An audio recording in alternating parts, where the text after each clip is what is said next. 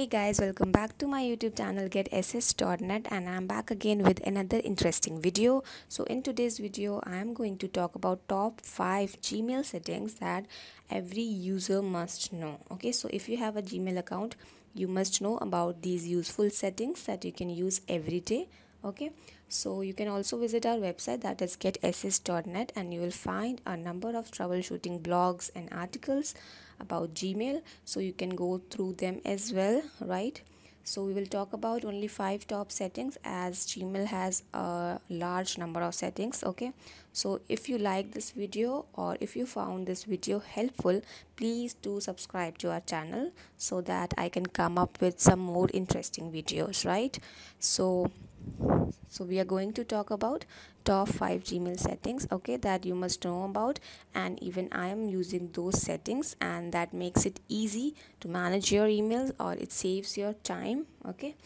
So first of all you have to just log into your gmail account and you will find all the settings under under the settings section right? It's very simple. We will see one by one what settings can we use to improve our emailing experience right?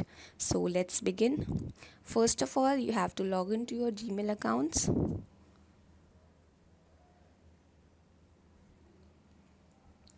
And once you are logged into your gmail account you have to go to the settings section.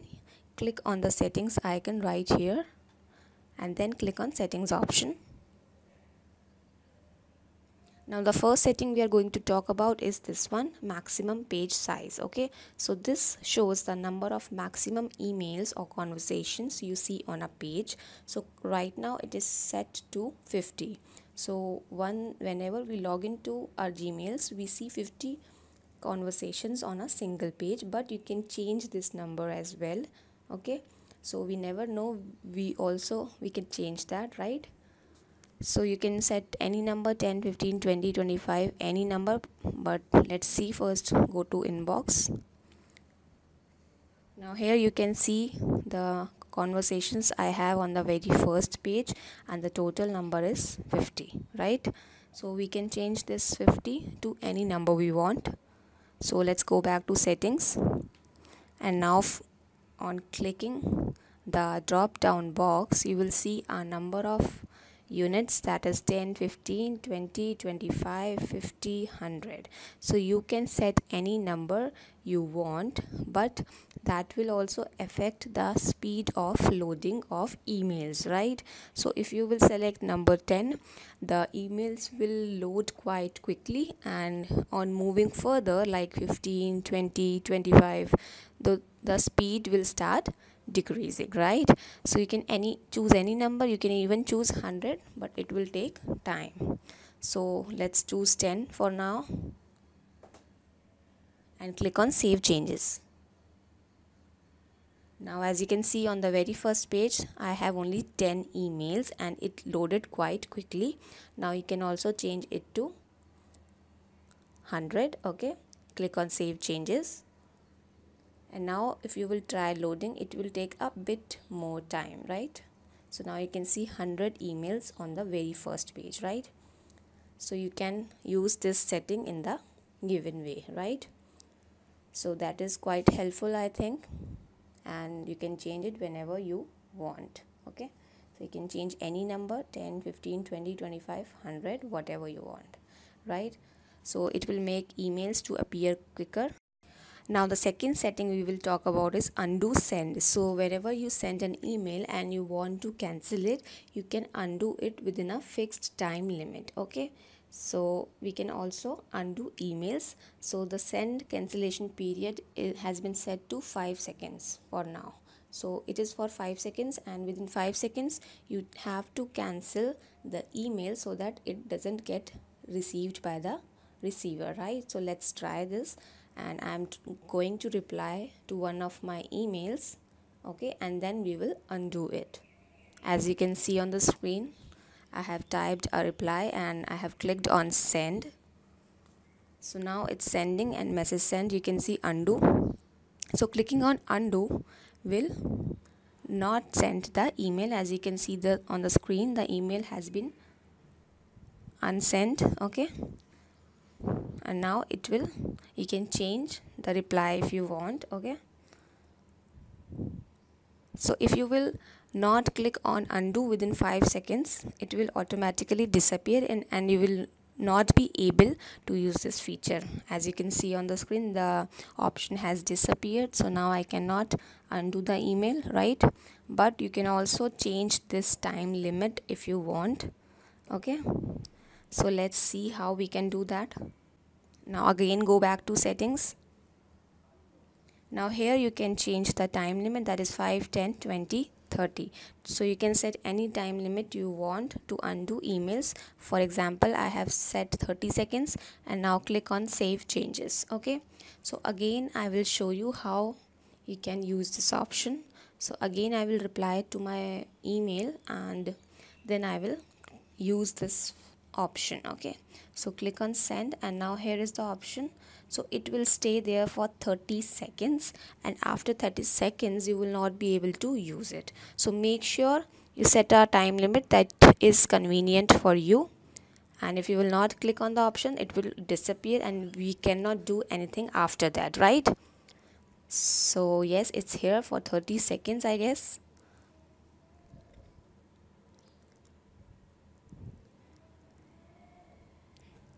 okay now it has been disappeared so 30 seconds are over. Now you cannot use this option right? So that was the second useful option you can use. I mean the gmail settings second useful gmail settings right okay so now we will talk about the third gmail setting that is send and archive. So using this option you can archive the emails or the replies that you send to someone. Okay so you can select the show option to get that button in reply box. Okay and you can even hide this option. So we will see how we can use this option okay let's go to inbox and I will reply to one of my emails. So here you can see only send options. So right now I cannot use this option. Okay again I will go back to settings and I will select the show option. That is show send and archive button in reply. Okay so then click on save changes and again I will show you how you can use this option. So open any email and you will when you will try to reply you will get the option send and archive okay? So now you can see this option and you can use it. So first of all let's type any reply. Click on the option. And now you can see that the email will not appear in the inbox okay so the email has been disappeared from the inbox and it has been archived okay? Now if you want to see that email you have to click on more and then click on all mail. So that's the email you were looking for right? So the email will not appear in the inbox and only in the all mail section right? So this is how you can use the archive option right? So now the next feature we are going to talk about is um, so we have talked about send and archive. Next option we will talk about are the nudges right? Here are the nudges. So the nudges are type of suggestions that you get when you are typing something or the words that appear when you type an email address or any word you want to find in an email okay? So that's our those are nudges okay? So i have already turned them on. So they will suggest the email address whenever you will type a single letter right? So let's see how you can use them. So i'm composing an email so as soon as i type the letter it has suggested me an email address. Okay so that's called nudges. So whenever you get a suggestion for typing a letter or character that's our nudges. Okay so you can turn them on or if you want you can turn them off.